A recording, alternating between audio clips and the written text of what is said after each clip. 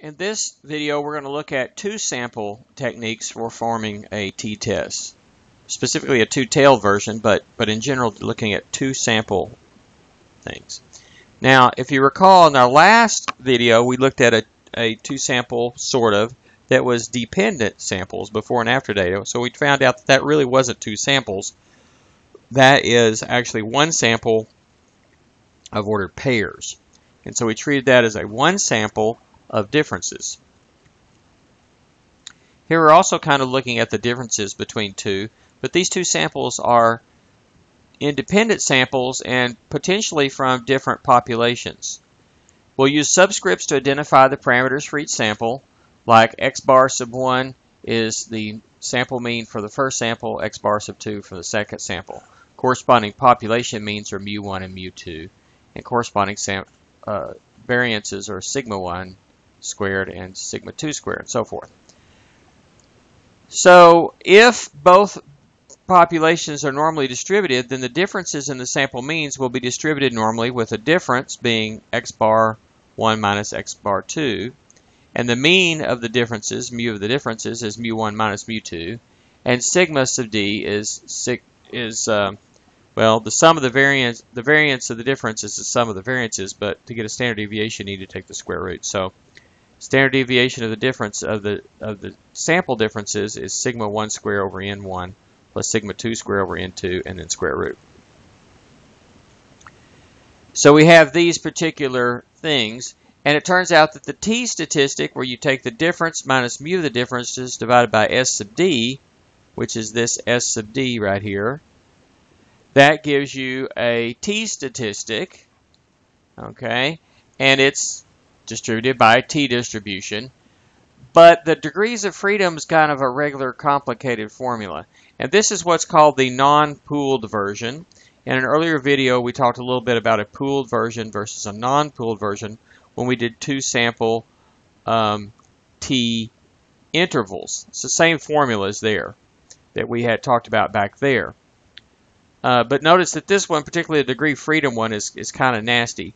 Fortunately, we do not need to do those because the TI, the calculators have a two-sample t-test wizard program or app built into them, and so it knows these formulas and we don't have to know them.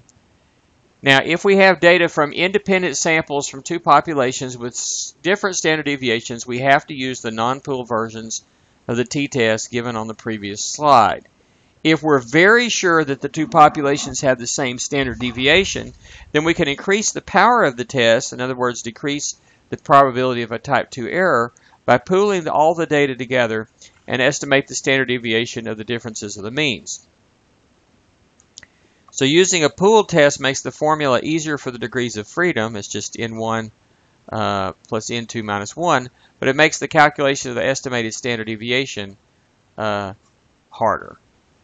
Um, so regard and, and, those formulas are given in an earlier video where I talk about two-tailed t or, or two-sample t intervals. Uh, but the, the, the thing is, we don't need to know those for my class. Uh, the calculator wizard lets you use the pooled or non-pooled estimates. Uh, and in this course, my course at least, we'll always use the non-pooled versions for the test. So when it comes to that choice, you will always just choose non-pooled. So here's an example of this at, at work here. So a study was performed to determine differences between diastolic blood pressure reading between men and women. The following table gives summary statistics for the two groups of subjects. We had 13 females with a mean of 71.08 and a standard deviation of 9.22. We had 16 males with a mean of 77.37 and a standard deviation of 8.35. So the question is, is there sufficient evidence at the alpha equals 0.05 level to determine that there is a, a, difference in the diastolic blood pressure reading between the men and the women. And then we can also go ahead and compute a 95% confidence interval for the difference in the blood pressure, and we're going to do females minus uh, males.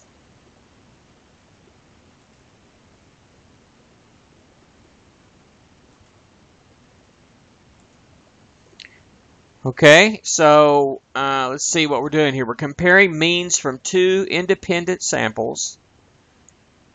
And the uh, standard deviations for the samples are known, but not for the populations. And we're going to go under the assumption that the uh, differences are, at least, are approximately normal. Um, I didn't quite say that, but we kind of need that with these sample sizes, or at least, eh, maybe not exactly normal, but we need at least not too far off of being normal for that. If we actually had the samples, we could maybe do something like uh, a normal probability plot, or for, for example, to see if they were normal enough. So anyway, with these conditions satisfied, we have enough to use a two-sample t interval using those formulas that I just showed you earlier. But again, we don't have to worry about the formulas. The calculator will actually just do it for us.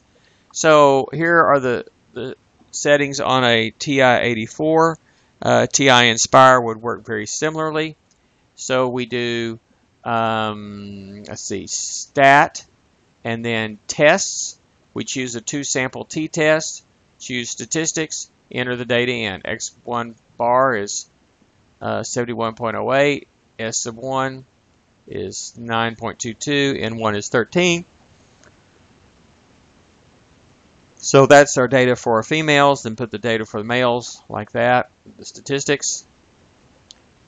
And then continue on down arrow, and then we have a choice for a two-tailed left or right tail. And it just says any difference going up or down, so that would be a two-tailed test. So we, we enter, enter that.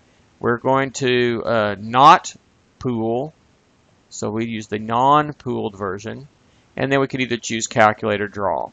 If it draws, it'll draw a T, a T distribution with the right degrees of freedom for this that it'll figure out some uh, fraction between two number two uh, natural numbers most likely. And it will shade in the p-value but we don't really need to see it. We can just calculate. So I did calculate. Here's the here's the, the results so our alternative hypothesis is mu1 is not equal to mu2 there's our t-test statistic uh, usually I call it t star negative 1.905, etc. The p-value 0.068. The degrees of freedom, it figures it out, and it's okay if it's not a whole number. It comes out to be something there, and it and it reminds us what we already knew about the the uh, means of the means of the different samples. Arrow down, and it shows you the standard deviations and the n values. Now, if we were doing this from data, this might be new new information to us all these summary statistics. So for example, if you are doing it from data, you don't have to first compute all the summary statistics. That's kind of built into the process here. Anyway, uh, the the main thing was the uh, the p-value. Okay, and the p-value is let's see if we can make our conclusion. P-value is 0.068, and we're using alpha as 0.05. So notice that P is greater than alpha. That's going to not enough information to uh, suggest that these are anything different.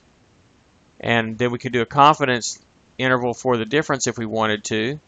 Uh, so that's a two sample T interval. Again, we do stat, test, but this time choose two sample T interval, statistics, enter in the same numbers as before and again non-pooled hit calculate and there's our our sample interval. Um, there's our degrees of freedom and so forth and so that we can see whoops that the at if we, we could take we could subtract the two means right here and see that this is about 6.29 uh, I guess above the males about 6.29 above the females okay uh, so that would actually be negative 6.29 because we're doing females minus males on their measurements, on the blood pressure measurements. So it looks like on average of this particular group, the males were higher by, what I say, 6.29. But that's not enough higher for us to be able to have evidence beyond a reasonable doubt that this might not have just come from a um, random sample from one where they are exactly the same mean. Okay? But we're 95% confident that the true mean is somewhere between, mean of the differences that is, is somewhere between 13, negative 13, and positive, say 0.5 something. Notice that 0 is in this interval, so there's no way to conclude that we uh, got something uh, that we have enough evidence to say that there is a difference. So this slide uh, shows our final conclusion there.